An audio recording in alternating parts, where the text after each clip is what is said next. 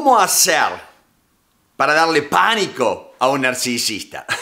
Y acá no quiero ser narcisista, pero muchas veces tenemos que pelear nuevamente, tenemos que mostrar que esto no es así y no va a seguir siendo así. Muchas veces tenés que ser claro en esto, porque si no, el narcisista va a seguir abusando y usándote, ¿o no? ¿Cuántas veces te has dado cuenta y que querés salirte de ese elemento vicioso, pero no podemos? Entonces, te voy a dar cuatro estrategias, cuatro estrategias que funcionen muy bien para darle pánico a un narcisista, para que el tipo pare o la mujer pare y te deje, te dé ese descanso.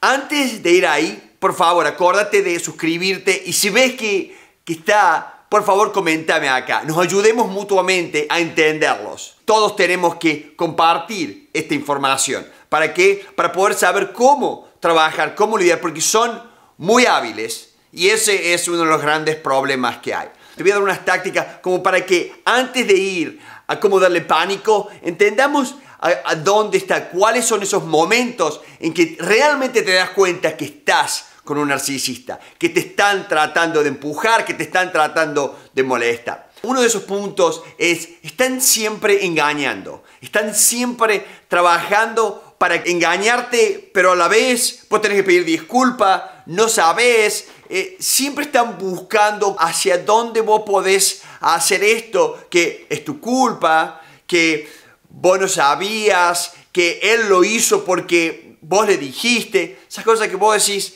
pero no, no, no, están engañando la realidad. Entonces tenemos que estar presentes, tenemos que estar entender de que nos engañan eso. Acuérdate esa táctica, esa táctica de engaño. La segunda es, viste que mienten, pero mienten todo, pero mienten cosas que no hace falta mentir. Mienten, pero vos decís, pero si, si después la gente se va a dar cuenta de que eso fue una mentira. Si no, no, no, no tiene sentido. Y vos decís, no, no, no. Pero bueno, y muchas veces escribí, escribí, hacerles que ellos escriban, para que después podés verlo lo que ellos decían con lo que, lo que es ahora. Y, es como que, ah, bueno, ah, bueno, no, ah, no, no, no era así. Lo hacen justamente para afectarte la cabeza. No dejes que te afecte. Y el único culpable sos vos o soy yo, porque le damos esa posibilidad de ser afectado. Entonces, cuídate, escribí, decile, confirmalo con texto, confirmalo con un email, para que después vas a ver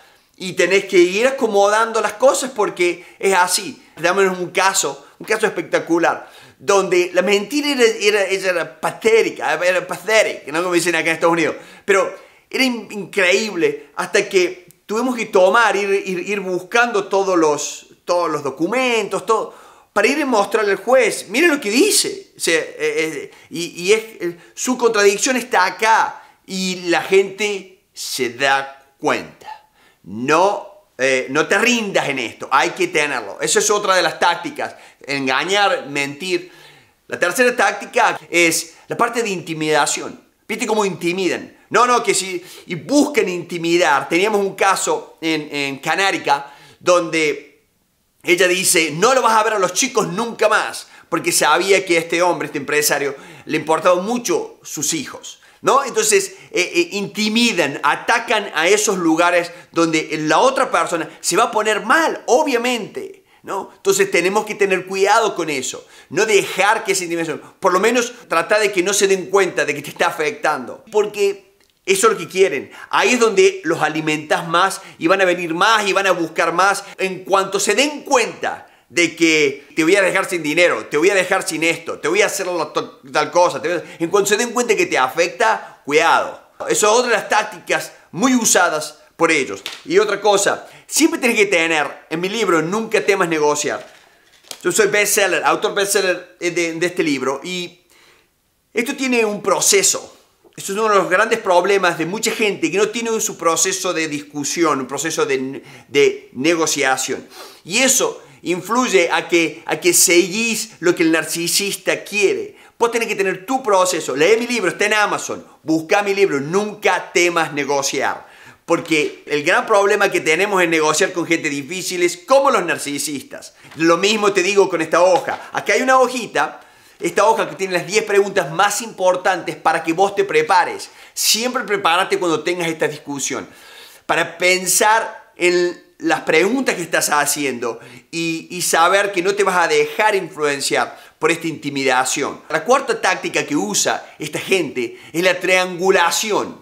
¿no? De que, de que hablan con esta persona y dicen que esta persona dijo tal cosa de vos y que vos no entendés y empiezan a armar unas mentiras y una manipulación entre la gente que vos, vos tenés miedo de ir. Y hay veces que van a utilizar, por ejemplo, a los hijos. Van manipulando y ponen terceras personas haciéndose las sumamente buenas o buenos ¿no? Y, busquen esa triangulación para hacerte quedar mal. Entonces veamos cómo podemos darle pánico a esta gente, cómo podemos pelear de nuevo, cómo podemos mostrar que eso no está bien. Y hay mucho, ¿ah? hay mucho para hacer, porque tenemos que hacerlo. Te recomiendo, seriamente te recomiendo que trates de profesionalizarte en la forma en que vos negocias.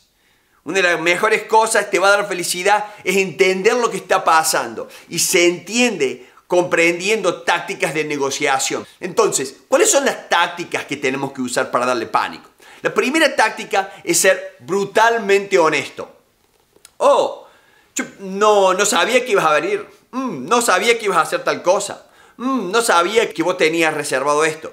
¿Por qué? Porque necesitamos mostrarles a ellos que no nos vamos a dejar intimidar, que no nos vamos a dejar engañar y que vamos a decir las cosas. Te mandan un email, hacen esto o lo otro, contestas y le contestas con todos los empleados de él. Entonces, ah, bueno, yo no entendí esto, esto, lo otro, pero a ver, ¿cómo es esto? Acá copio tal y tal y tal porque yo tuve comunicación previa con él para ver cómo lo ve. Sé brutalmente honesto.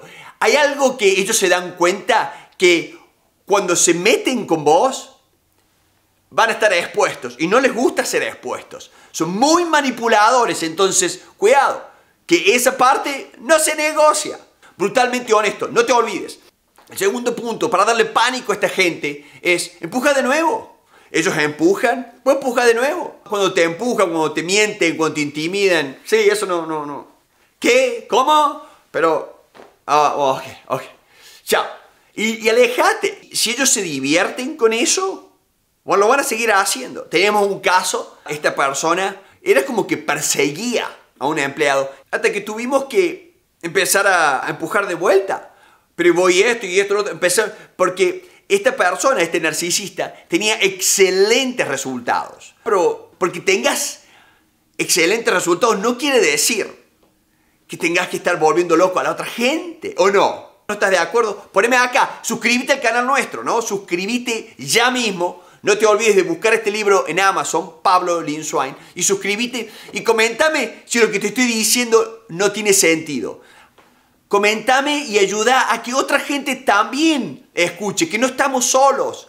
No estamos solos recibiendo esos textos, recibiendo esos mensajes. Comentame qué te parece y si alguno de estos puntos realmente vos te sentís Tocado o tocado. Bien, otro punto, exponelos. Había un caso de una persona que estaba manipulando, estaba armando lío, estaba... Entonces hicimos toda una presentación y le dijimos que íbamos a ir a la corte. Y en la presentación había muchos elementos sexuales de él. Entonces, escuchame una cosa, vos, vos te enojas con esto, con esto, lo otro. Bueno, nosotros eh, queremos ir a explicar a la, a la corte y vamos a poner todo esto si es justamente lo que estamos discutiendo. No estamos inventando nada, pero para de intimidar, para de hacer lío, porque vamos a exponer todo. Entonces ahí cuando ellos se dan cuenta que vos vas a exponer esa manipulación, ese engaño, esa mentira con esta otra, esa triangulación que hacen, cuando vos lo vas a exponer, oh, ahí cuando se dan cuenta de que eh, es preferible agarrar a uno más tonto, creen. ¿no? Y van y buscan algo, van a alimentarse con algún otro. Entonces, cuidado. Entonces, exponelos, exponelos, no te preocupes. Exponelos con un email, exponelos con esto. Si tienes que ir a hablar con el director, la directora, yo una vez tuve que ir a hablar porque una persona narcisista con la que tengo que convivir eh, estaba mintiendo, estaba, y tuve, tuve que ir a hablar con el director del, del colegio de mis hijos. Y yo tenía un Excel. Y bueno, y fui y le mostré, mira esto, esto, lo otro. El tipo miraba, oh, sí. Y la gente se da cuenta. Se da cuenta que hay cosas que no son normales que un padre, una madre, un ejecutivo, alguien haga, pero lo hacen por algo. Y es cuando vos los expones, yo no entiendo, pero esto, esto, entonces ahí es cuando se dan cuenta, ¡ah! Me están usando a mí porque esta otra gente, como te, te triangulan, esta otra gente no quiere ser usada, no se quiere meter en esa manipulación. Acordate, exponelos. Y después, el cuarto motivo para darles pánico es cuando se sienten que pierden el control, es cuando peor se sienten, peor se ponen ellos. Entonces, mostrar que ellos no tienen control sobre vos. Y eso les va a ayudar a ellos a darse cuenta de que no está bien. Cuando ellos ven que están por perder el control, ahí es cuando a ellos más les asusta. Vamos ya mismo a ver otro video sobre manipulación. Vamos ya.